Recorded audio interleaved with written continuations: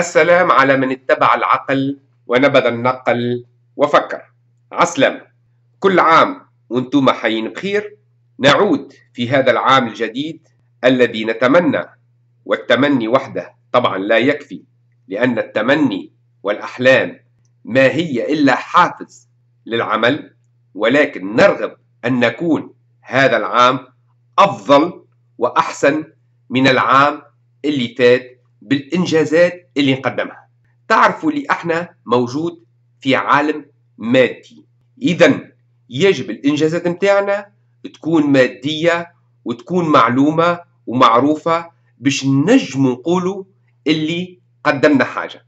ولهذا لازم كل عام كل شهر كل أسبوع كل ساعة كل لحظة نقدم حاجة مهمة في حياتنا باش تكون حياتنا معبية ومهمة وباش نترك الآثار للأجيال القادمة. ننطلق في هذه الفيديو عن الحديث عن الديانة الفيدية كما هي موجودة الآن واليوم.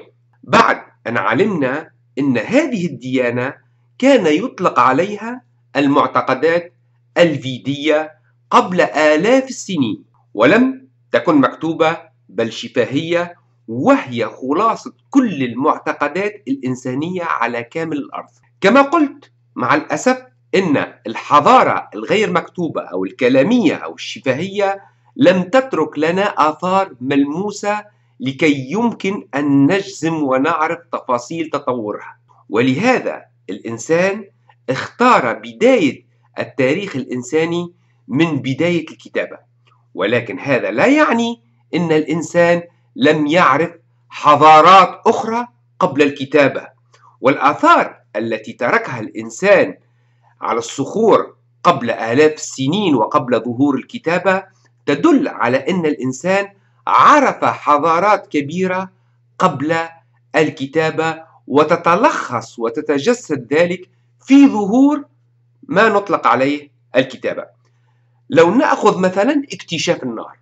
أبسط الأشياء. اكتشاف النار وقع قبل تقريبا 500 ألف سنة أو 800 ألف سنة وهناك من يقول قبل مليون وخمسمائة ألف سنة. هذا الإنسان الذي اكتشف النار واستعمل النار لا يمكن أن يكون إنسان حيواني. مستحيل.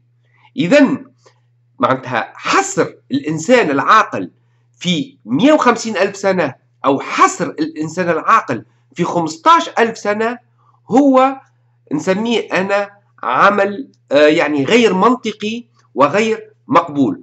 ولكن الإنسان ليس له خيار خاصة الآن عندما وضع ما يسمى القواعد الأساسية لفهم التاريخ واعتمد على الأدلة الملموسة والأدلة الواضحة البينة التي تثبت الأشياء كما هي وابتعد على كل ما هو خيال وما يسمى بالموروث الكلامي أو التقليدي. وهذا طبيعي. ولكن عندما نقول أن الإنسان ظهر منذ عشرة ألاف سنة أو الإنسان العاقل منذ مئة وخمسين ألف سنة هذه لدينا عليها أدلة. ولكن لا ننكر أن الإنسانية هي أقدم من هذا التاريخ بكثير جدا. إن الإنسان رغم أنه لم يترك أدلة على تطوره مدة مئات الآلاف من السنين ولكن الإنسان ورث هذا الموروث الكبير في جيناته وفي الموروث الكلامي وفي الكتابات الأولى وفي الرموز وفي بطون الكتب وفي الشعور الإنساني هذا وحده أكبر دليل على أن الإنسان قام بعمل جبار لكي يصل إلى ما وصل إليه والطريق ما زال طويل. المهم في هذا الفيديو يجب أن نضع نقطة نظام ننطلق منها ونقطة بداية وإن كانت افتراضية لكن يمكن لنا من خلالها فهم بقية ما حصل في التاريخ الإنساني الذي أنظر إليه على أنه وحدة متكاملة رغم تنوعه اللانهائي ورغم مشاركة كل الأجناس وكل الشعوب وكل الأفراد في هذا التطور الإنساني ولا يمكن أن نستثني أحد مهما كان.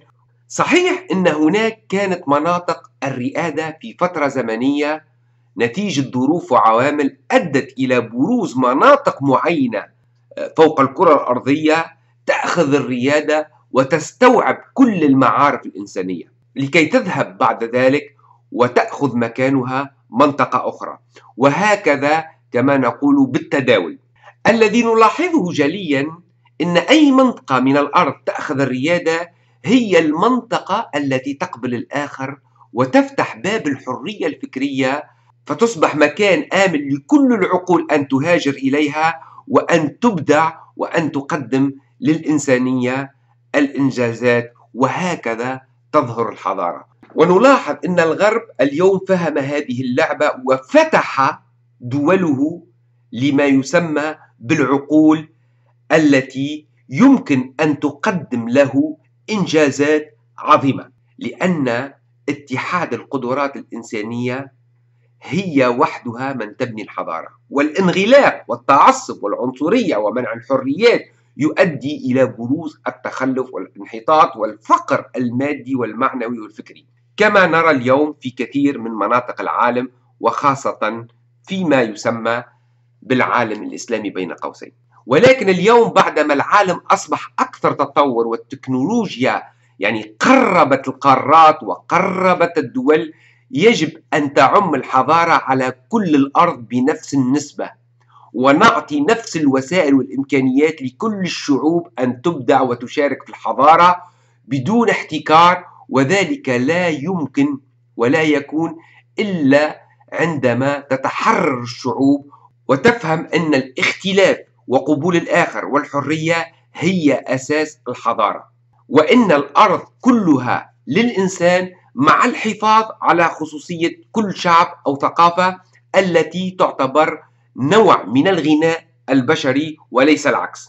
هناك مبادئ إنسانية ليس لها لون ولا خصوصية مثل الحرية مثل العدالة مثل المعرفة هي من حق جميع الشعوب على اختلافهم ومن حق كل الطبقات المجتمع على أنواعهم رجال ونساء بكل أشكالهم لهم الحق في الوصول للمعرفة وفي الإبداع. عندما تفهم الشعوب هذه الحقيقة سوف يعم الازدهار في كامل الأرض حيث الجنة الأوروبية يمكن أن تكون في كل الأرض.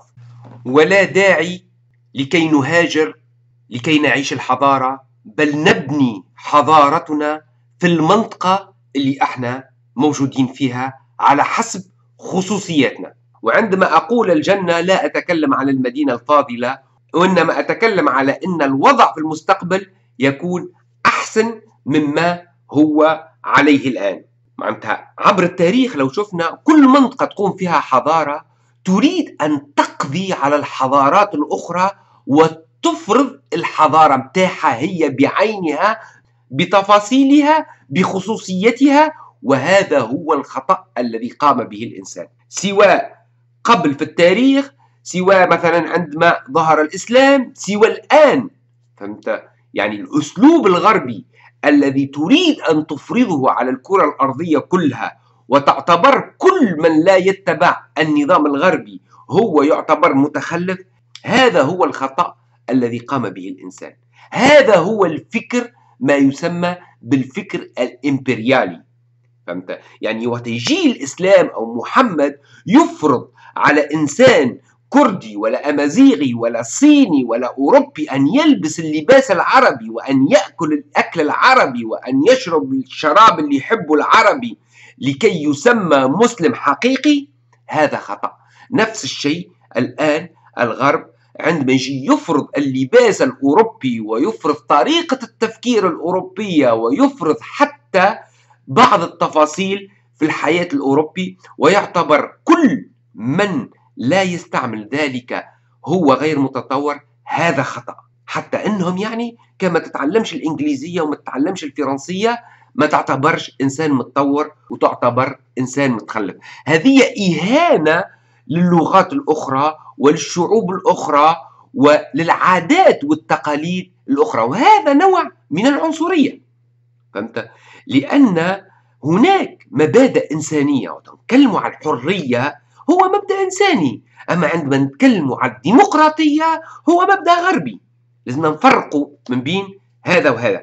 إذا هذا الفرض الذي يريد أن تفرضه أي حضارة أو مدنية على العالم هذا عبر التاريخ كان فاشل. وتنتهي هذه القوة بتدمير نفسها بنفسها سواء إنها تنغلق على نفسها وتصبح يعني مكان ضيق جدا لأنها لا يمكن أن تستوعب العالم كله في منطقة واحدة وهذا ما نلاحظه اليوم في أوروبا. عندما تغلق حدودها وتسمح للهجرة إلا للطاقات الفكرية والاقتصادية. وهذا يزيد بقية العالم فقرا وجهلا فكريا واقتصاديا ويقوي أوروبا أكثر وأكثر ولكن هذا يؤدي إلى سقوطها. رغم اللي كان من المفروض إن اللي في الخارج حتى هما تكون عندهم حضارة مماثلة للحضارة الأوروبية أو الغربية على حسب نمط حياتهم وعلى حسب خصوصياتهم. أو يتم تدميرها من طرف الشعوب التي تتمسك بمبادئها وحضارتها وإن كانت مبادئها خاطئة.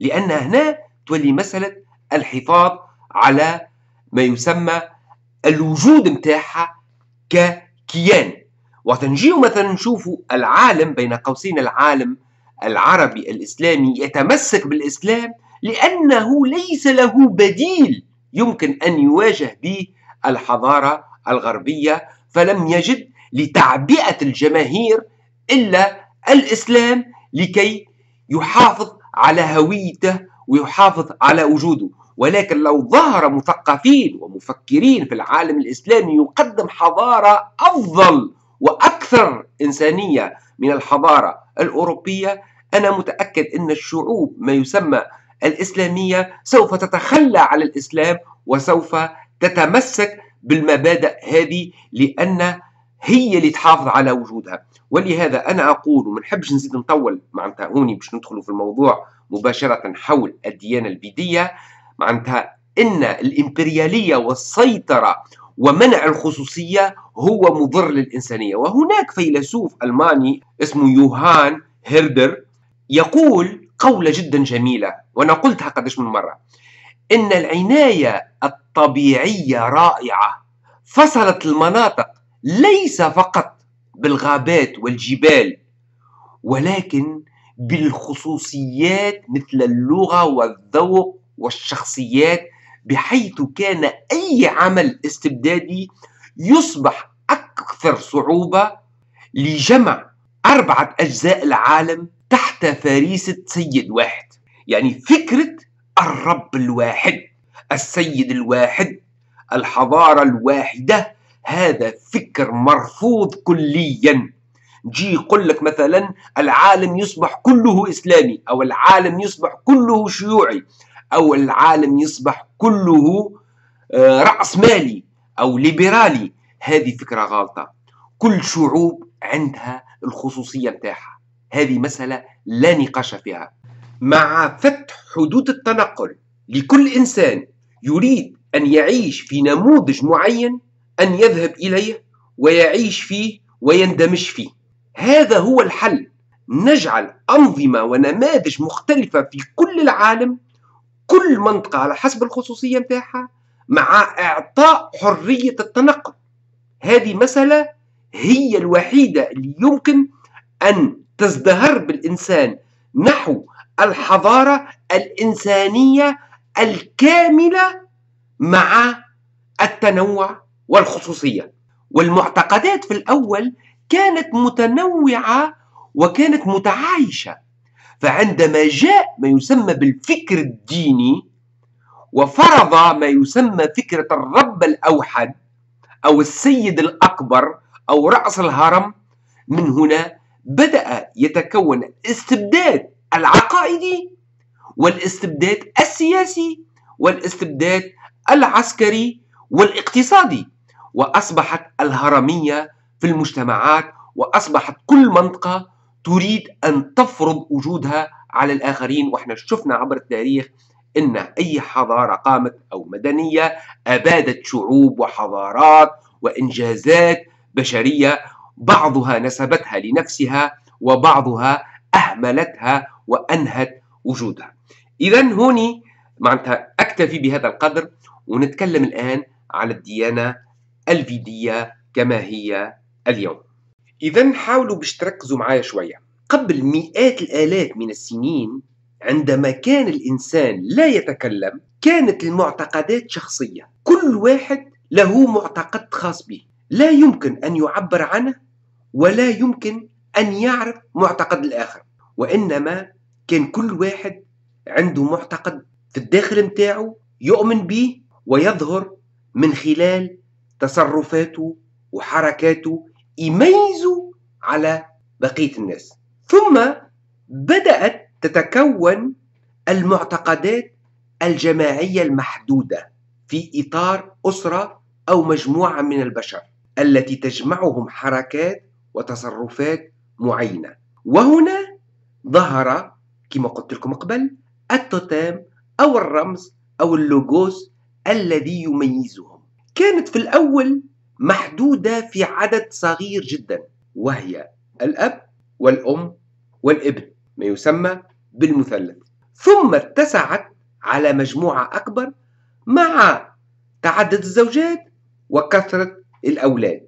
ثم تكونت ما يسمى بالفروع وهذه الفروع كونت ما يسمى القبيلة. مع ازدياد عدد البشر واستقرار الإنسان حول المياه وظهور الزراعة وتربية الماشية بدأت تتكون فكرة التجمعات البشرية الصغيرة التي مع الوقت تحولت إلى فكرة الشعوب. مع ظهور الكلام أصبح الإنسان أكثر قدرة على التعبير على معتقداته وفهم معتقد الآخر.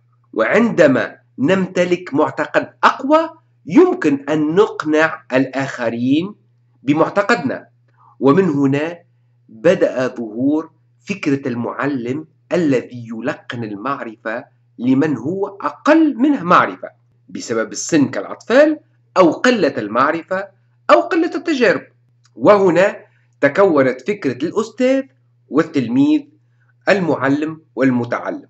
وبهذه الطريقة أصبحت المعرفة أكثر انتشار وكل معلم يكون له عدد كبير من المتعلمين يكون أكثر شعبية وأكثر تأثير. هكذا بدأت فكرة الغنوصية التي وصلت إلى قمتها عندما أصبح المعلم يتعلم من المعلمين الذي مثله ويسافر للبحث عن الحقيقة والمعرفة ويأخذ المعارف الأخرى من الشعوب الأخرى ومن الجهات الأخرى لكي يكون له أكثر علم ممكن. في الأول كان الهدف مجرد المعرفة والعلم والاستفادة من تجارب الآخرين وكان الأمر شفاهي. ولكن مع الوقت والتطور الإنساني تركزت هذه المعارف العقائدية في منطقة وادي السند التي بموقعها الجغرافي كانت معبر لكل الهجرات القادمة من إفريقيا أو النازلة إلى الهند أو الصاعدة إلى أوروبا يعني تلك المنطقة كانت جدا مهمة كانت عبارة على مفترق. وطبعا تلك المنطقة عندها ميزة أخرى كانت تتوفر على المياه وسهولة العيش حيث يهاجر منها المعلم ويعود لنشر المعرفة. مع الوقت أصبح لهؤلاء المعلمين هيمنة على عامة الناس وأصبحوا عبارة على ملوك القبائل أو التجمعات البشرية. يستشارون ويأخذ رأيهم سواء في مسألة شخصية أو مسألة جماعية.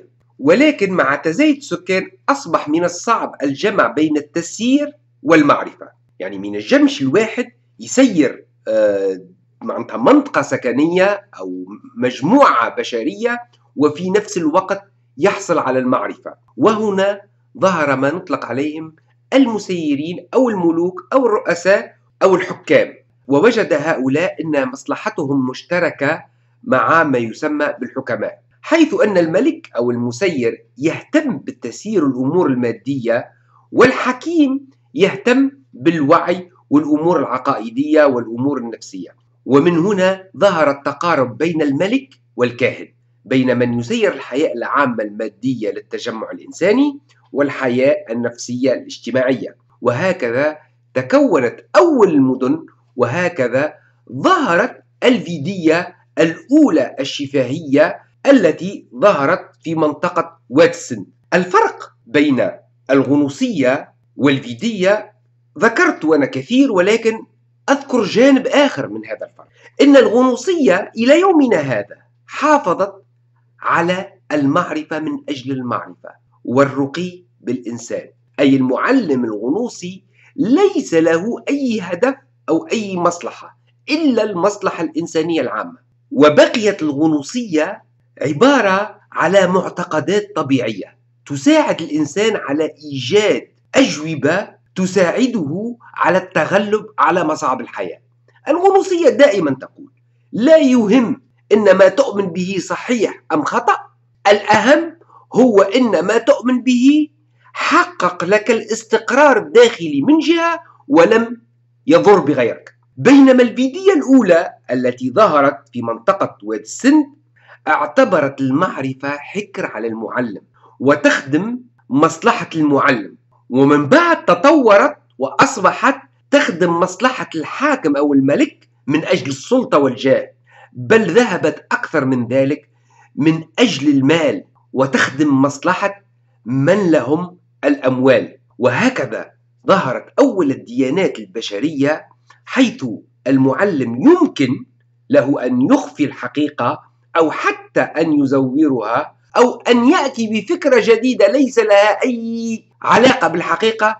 المهم أنه يكون عنده شعبية وأن يجعل العامة تحت سلطته النفسية ويساعد الملك أن تبقى العامة تحت سلطة الملك وفي خدمته. أي توظيف المعتقد في مصلحة السياسة والسلطة والمكسب المادي. عندما ظهرت الكتابة الكهان الفيجيين الأوائل لم يكتبوا المعرفة السرية التي عندهم وإنما احتكروها لأنفسهم يتناقلونها جيل بعد جيل وهي عبارة على حوارات بينهم وبين الملوك. بل أول ما قاموا به الكهان الفيديين بعد ما ظهرت الكتابة هو كتابة كتب للعامة التي تعرف بكتب الفيدا الأربعة وهم الريجا فيدا السما فيدا الباجورة فيدا الآثارة فيدا وذلك على مدة تقريبا ألف سنة.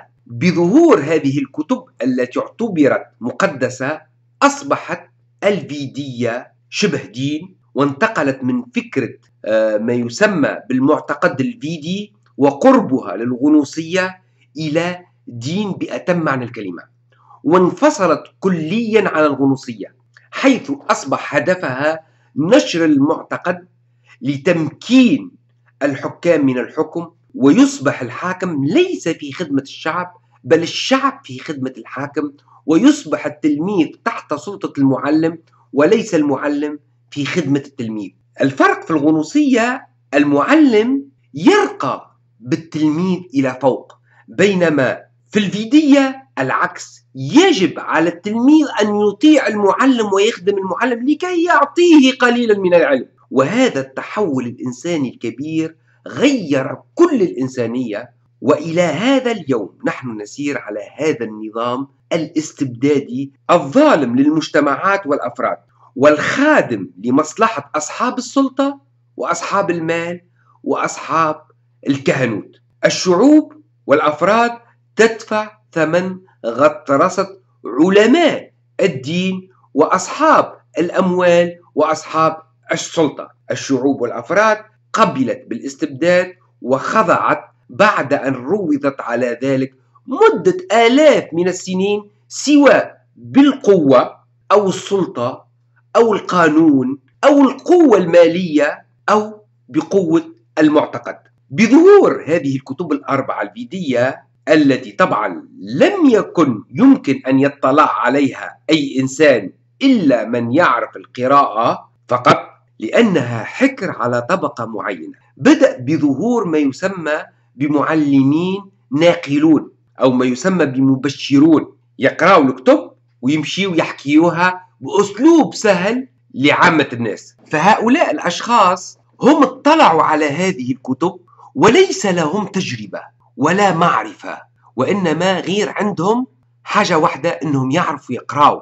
يعني عندهم نسبيا نوع من المعرفة. إذا هما يقرأوا هذيك الكتب ويفسروها على حسب ساعات نظرتهم هما وإلا على حسب ظاهر النص. طبعا هذه الكتب أصبحت لها قيمة مقدسة. وفي كثير من الأحيان هؤلاء اللي ينقلون المعارف اللي في هذه الكتب كما قلت لكم يعطيوا التأويلات متاعهم ومن هنا بدأت تظهر فكرة البراهمة أو البرهمية وهي الآن ديانة أيضا وسوف نتكلم عليها عندما نتكلم على بقية الديانات بعد الفيدية.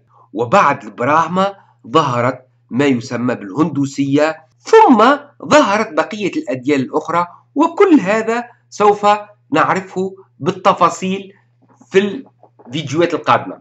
إحنا هوني نحب نحكيه كيفاش ظهرت الديانة الفيدية وما هي الظروف والعوامل التي أدت إلى تحول المعتقد الفيدي الذي هو كان طبيعي وقريب من الغنوصية إلى معتقد ديني طبقي. الهدف نتاعو هو السلطة والحكم والسيطرة على عامة الناس. إذا خلينا في ظهور الديانة الفيدية التي كانت هي السبب في ظهور ما نطلق عليه الطبقية في كل المجالات السياسية الاقتصادية غيرها حتى الاجتماعية. وما يسمى أيضا بالمركزية أو ما نطلق عليه بالإمبريالية أو بالحاكم. أصبحت الديانة الفيدية ديانة فيدية بأتم معنى الكلمة عندما انتقلت من وادي السند حيث إن في وادي السند كانت عبارة على معتقدات فيدية وبدأت تتكون قليل الديانة الفيدية ولكن في فترة من الفترات انتقلت إلى الهند القديمة. بعد الكارثة التي وقعت في وادي السند انحدر بعض كما نقول إحنا الكهان آه، الفيديين من وادي السند إلى منطقة الهند. وهناك بدأوا يكونون في الديانة الفيدية. واستطاعوا هؤلاء أن يجعلوا من المعتقدات الفيدية كدين. ومن هناك انتقلت إلى بقية العالم. في الأول انطلقت إلى منطقة الشرق الأوسط وهذا سوف نتكلم عليه من بعد ثم إلى بقية العالم وشملت كل الفلسفات الدينية والأديان والمعتقدات ظهرت من فكرة ما يسمى بالدين الفيدي الذي في الأول كما قلت لكم يحتوي على أربعة كتب الفيدا فقط. والجديد الذي وقع في الهند أن كهان الديانة الفيدية لكي يثبتوا وجودهم أكثر بعد انتشار الكهان المطلعين على الكتب الفيدية الأربعة وينقلونها للعامة ويقومون بالتواقيس لأن الكتب الفيدية الأربعة تحتوي على أناشيد وعلى طقوس وغيرها تقدم ما يسمى للرب أو للقوة الخارجية التي تؤثر على الإنسان. إذا في الهند اضطروا لكي يكتبوا مصدر هذه الكتب الأربعة لأن هذه الكتب الأربعة التي كما قلت لكم تحتوي على أناشيد وعلى طقوس وغيرها هي لم تأتي من فراغ وإنما أتت من معتقد آخر بقى غير مكتوب مدة طويلة وينتقل شفاهيا وسريا ولا يعلم به العامة وهو ما يسمى الأوبنشيدا الذي هو يسبق كتب الفيدا الأربعة شفاهيا ولكن كتابيا يعتبر ملحق للكتب الفيدا الأربعة. هو المصدر اللي اعتمدوا عليه البراهما الأوائل أو الكهان الفيديين الأول لكتابة كتب الفيدا الأربعة. بعد لا تكتبوا الكتب الفيدا الأربعة اللي هما متوجهين للعامة. شو معناها متوجهين للعامة؟ يعني الكهان يقرأوهم ويطلعوا عليهم ثم يفسروهم للعامة. ولكن مصدر هذه الكتب هو الأوبانشيدا هو الحقيقة المطلقة اللي خرجت منه الكتب الفيدية الأربعة. الأوبانشيدا هو الآن عندما تطلع على المصادر يقول لك هو ملحق للفيدا أو مكمل للفيدا يعني للكتب الفيدا الأربعة. ولكن في الحقيقة هو سابق لهم شفاهيا غير متأخر عنهم كتابيا. يعني الكهان ما كتبوه إلا بعد ما أصبحت الكتب الفيدا الأربعة يؤمن بها أغلب الناس اللي حولهم وعندما كتبوا الأوبانشيدا في الأول كتبوها إلا لما يسمى الكهان أو ما يسمى الملوك. وأصبحت الأوبانشيدا عبارة على الموروث الكتابي الخاص. بالكهان الذي يستمدون منه المعرفة ويمكن لهم أن يبدعون في خلق الأديان والمذاهب. ليس هناك في العالم إلى اليوم مفكر أو فيلسوف أو سياسي كبير غير التاريخ أو مدعي النبوة أو مدعي لمذهب معين معناتها ونجح لم يطلع على الكتاب السحري للأوبانشيدا الذي جعل الكثير الكثير من اطلع عليه يخرج من عقله. بل اعتبر هذا الكتاب هو الكتاب المعجزة لأن من اطلع على هذا الكتاب مهما كان رغم أن هو الكتاب هذا مكتوب يعني برموز يعني مش كل إنسان يفهمه كما, كما هو. خاطر هو في الحقيقة الكتاب هذا الأوبانشيدا هو نجم نقولوا غنوصي في الأصل. ولكن عندما كتب كتب برموز لا يمكن فهمها من طرف أي إنسان وكل واحد يفهمها على حسب درجة الوعي متاعه. هذا الكتاب المتكون من 108 باب يلخص كل ما وصلت إليه الإنسانية في أمر المعتقد وفيما يتعلق بالموت أسباب الوجود الحكمة من الوجود ماذا بعد الموت. آه معناتها كل ما يتعلق بالأسئلة الوجودية تلقاها في هذا الكتاب. الأوبانشيدا شنو معناها؟ باش معناتها نزيدوا نعرفوا كيفاش إن الأوبانشيدا هو يعني كتاب غنوصي. لو نرجعوا لترجمة كلمة أوبانشيدا نلقاوها هو التلميذ القريب من المعلم باش يوريك اللي أصله شفاهي. هذيك هو شنو معناها الأوبانشيدا. الأوبانشيدا هو التلميذ اللي يتلقى العلم من المعلم. هذا الكتاب ليس هناك سؤال وجودي مهما كان إلا فيه. كما قلت لكم متكون من 108 باب. ولا يمكن لأي إنسان أن يطلع على هذا الكتاب ولا يرى حياته وطريقة تفكيره تبدلت كليا حتى وإن لم يفهم منه شيء. وتصبح نظرته للحياة ونظرته لمن حوله غير التي كانت عليها. هذا الكتاب مع الأسف الأوبانشيدا ليس هناك إلا ترجمة عربية واحدة لمترجم تونسي اسمه عبد السلام زيان ولكن هي عبارة على ملخص لأن الأوبانشيدا كما قلت لكم 108 باب ماهيش ماهيش صغيرة فهمت؟ لكن هو لخص تقريبا شنو موجود وترجم عدة أشياء فيها. أما غيره هو ما فما حتى ترجمة عربية الأوبنشيدا مع الأسف. في التاريخ الإسلامي الكل وقعت هناك ترجمة وقعت هناك ترجمة في العهد العباسي آه، قام بها محمد ابن أحمد الباروني ولكن مع الأسف هذه الترجمة ضاعت وليس لها أي أثر. إذا باللغة العربية لا يمكن أن تجدوا ترجمة آه، كاملة للأوبانشيدا. بينما بالإنجليزية يمكن أن تلقاو آه، ترجمة بالإنجليزية ومجانية بينما باللغات الأخرى مثل الفرنسية آه، تلقاوها ولكن بالفلوس صعيب تلقاو ترجمة كاملة مجاني. اذا أنا هوني حبيت نقول إن هذا الكتاب معناتها جدا مهم. جدا مهم يعني معناتها أنا أنصح به أي إنسان أن يقراه حتى ولو ما يفهم منه شيء. لأنه يحتوي على كل اللا شعور الانساني الموجود كما قلت لكم رغم إن هذا الكتاب مكتوب برموز وكل إنسان يفهمه بطريقة معينة وحقيقته السرية تبقى في الغنوصية الشفهية.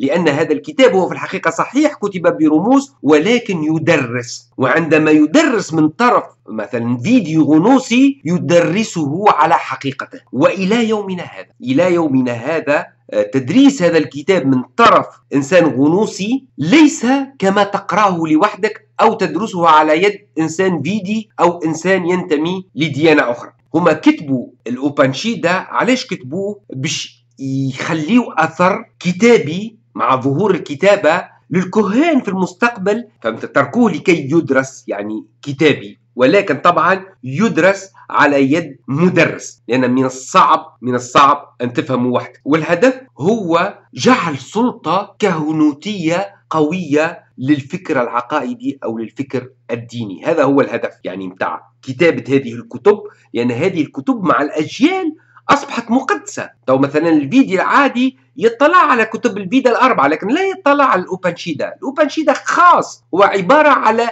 الكتاب الذي في السماء كما نقول. أو ذلك الكتاب لا ريب فيه كما يقول القرآن. يعني هو كتاب ما يقربلوش أي إنسان. معناتها أنا نقول لكم ونعاود نأكد لكم ليس هناك إنسان يقرأ هذا الكتاب ولن تتغير حياته. هو الكتاب اللي يعتبر الكتاب المعجزة. وهذا مش كلامي أنا قالوه مئات العلماء اللي تكلموا عليه. إذا فهمتوا الآن كيف ظهرت الديانة البيدية. بعد أن كانت مجرد معتقد في واد السند وكانت قريبة من الغنوصية ثم وقعت كوارث في منطقة واد السند آه، بعد تكوين نوع من الدولة قيام على ما يسمى بالديانة البيدية الأولى ثم انتقلت مع بعض الكهان إلى منطقة الهند وهناك بدأت تظهر الديانة البيدية الكاملة بكتبها البيدية الأربعة والأوبانشيدا كهو كتاب كما نقولوا إحنا مقدس الأكثر شيء تقدير أو ما يسمى بالكتاب السري. وفي الهند طبعا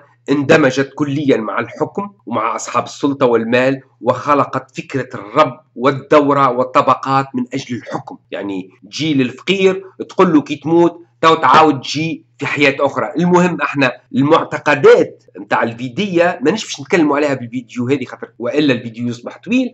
إحنا الهدف من الفيديو هذه كيفاش ظهرت الديانة الفيدية. ومع ظهور السيطرة وبداية الصراعات بين الكهان وأصحاب السلطة والمال فاضطر كل واحد أن يخلق معتقد خاص به فهمت؟ وبشعبه. وهكذا بدأت تظهر الأديان التي نعرفها اليوم أو المذاهب من أجل الحكم والسيطرة واستعباد المجتمعات والأفراد. طبعا هما يمكن يكون نيتهم معناتها حسنة في الأول يعني يقولوا مثلا إن هذوك الأشخاص عامة الناس ما يعرفوش يقراوا ما يعرفوش يكتبوا ما يفهموش بالكدا. إذا لازمنا نعملوا لهم هذاك الأسلوب. يعني لازمنا نعملوا لهم هذاك الأسلوب نعطيهمش الحقيقة كاملة ونعطيهم رموز وكذا ونحاول نفهمهم على قد عقلهم. ولكن البقاء على تلك الفكرة إلى يومنا هذا هو الخطر لأن الفكرة التي جعلت يمكن من أجل هدف معين الآن أصبحت تضر وهنا أضرب لكم مثل بسيط يعني وأنا ضربته قبل فهمت؟ أنه تجي لطفل صغير تخاف عليه مثلا لا يخرج إلى الخارج تضربه سيارة. لا تستطيع باش تقول له راكي تخرج الخارج تضربك سيارة أو دراجة نارية هو ماهوش باش يفهم عمره هو عامين أو ثلاث سنين. اذا شنو تقول له؟ تجي تخوفه تقول له راك كان تخرج لبرا ياكلك الغول أو ينزل عليك صقر من السماء أو تنين ويخطفك. الوليد هذاك لا يخرج إلى الخارج.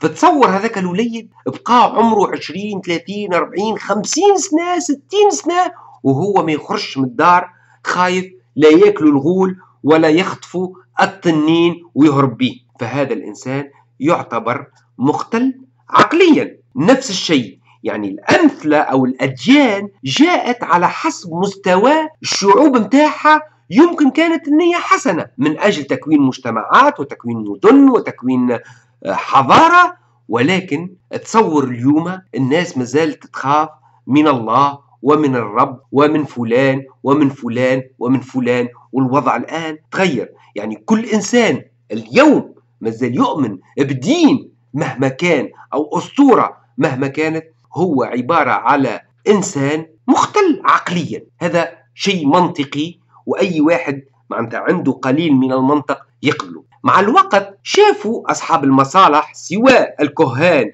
سواء أصحاب المال سواء أصحاب السلطة أن هذه كما نقولوا إحنا تجارة مربحة فهمت؟ يعني الدين تجارة مربحة وإلى اليوم راه إلى اليوم إلى اليوم. حتى الرأسمالية والليبرالية وغيرها تعتمد على الدين للسيطرة على الشعوب وحتى على شعوبها وحتى كان الدين يتبدل. يعني يخلقوا لنا ديانات جديدة. كل مرة يجيب لك دين جديد. مرة يجيب لك مثلا الطاقة. مرة يجيب لك آه، آه، مخلوقات فضائية. آه، مرة يجيب لك كل مرة يجيب لك حاجة. فهمت؟ يدخل لك حتى العلم الفيزياء والكيمياء والرياضيات غير باش يخلق عندك معتقد ينجم يتحكم تحكم معناتها فيك. هذه هو الغلط الكبير اللي ما فهموش الإنسان. فهمت؟ المهم إحنا في الفيديو هذه باش نكتفيو بهذا القدر وفي الفيديو القادم نتكلموا على القواعد الأساسية للديانة الفيدية التي هي اليوم صحيح ليس لها أنصار كثير ولكن تعتبر الكتب الفيدية سوى الكتب الأربعة فهمت؟ الفيدية. أو الأوبانشيدا هو مصدر لكل الديانات اللي موجودة في الشرق الأقصى وهي المصدر الغير مباشر لكل الديانات الموجودة في العالم. شكرا على المتابعة ومرة أخرى كل عام وأنتم حيين بخير ولا تنسوا بتوزيع الفيديو لو عجبكم ومع فيديو قادم وبسلامة.